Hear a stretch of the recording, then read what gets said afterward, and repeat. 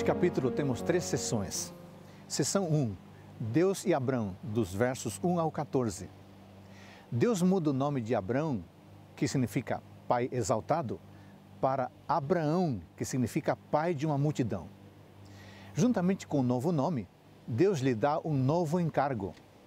Como sinal da aliança, ele deverá circuncidar-se e deverá fazer o mesmo com todos os homens de sua casa e todos os meninos que completarem oito dias de vida.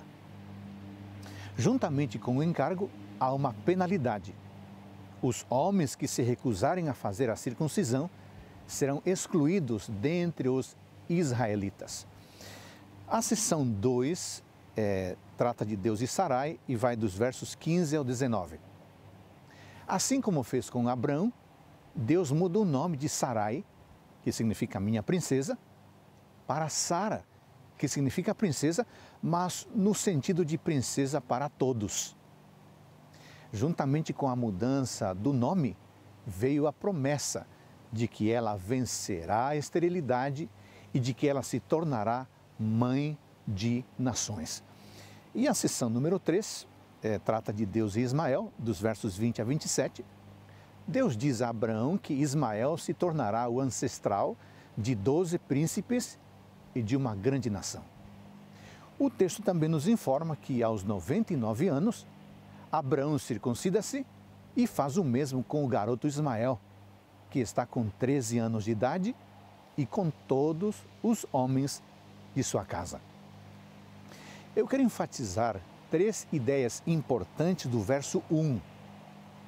Primeira, eu sou o Deus Todo-Poderoso. Estando agora pronto para renovar a sua promessa a Abraão, Deus percebeu que Abraão estava um pouco cético. Por esta razão, Deus se apresentou como o Deus Todo-Poderoso, El Shaddai, para quem nada seria impossível, por mais difícil que parecesse aos homens. 2. Anda na minha presença. O original hebraico diz: anda diante de mim. Durante 13 anos, Abraão não havia andado inteiramente diante de Deus. Daí a ordem para que o fizesse.